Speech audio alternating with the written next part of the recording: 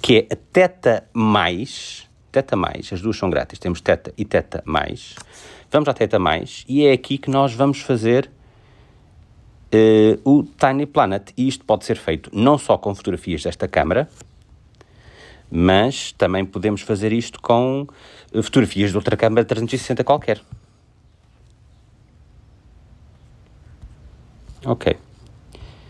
Então, o que é que fazemos? Vamos buscar uma fotografia, pode ser, por exemplo, esta. Edit, Still Image. Ok, e agora então aqui temos vários efeitos em baixo. Mirror Ball, é o efeito parece uma bola de cristal. Temos o, o, o famoso Tiny Planet, que podemos ajustar com os dedos à altura que nós queremos. Ok? E depois daqui transformar em fotografia.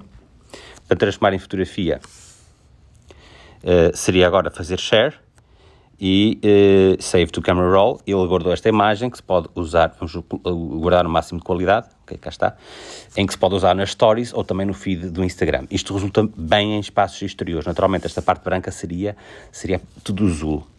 Mas, para além disso, há para fazer aqui coisas também muito engraçadas.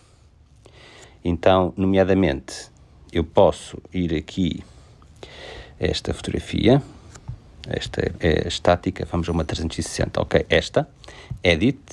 Para além do o efeito Lens Ball de Tiny Planet, também tem aqui uma opção de Animation, vou a Little Planet, que é o Tiny Planet, Animation, e agora ele deixa fazer vídeos animados, ok? E temos aqui vários templates aqui em baixo, de fazer vídeos. O output disto é um vídeo normalíssimo que se pode usar em Stories ou em Feed. E podemos escolher aqui vários templates, inclusivamente podemos fazer aqui um automático e ele, pela inteligência artificial, vai mudando.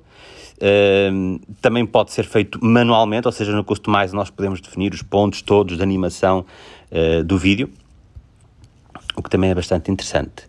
Mas, normalmente, eu gosto de utilizar aqui estes, os templates que tem aqui uma questão de selecionar um ou fazer o auto e ver o resultado final.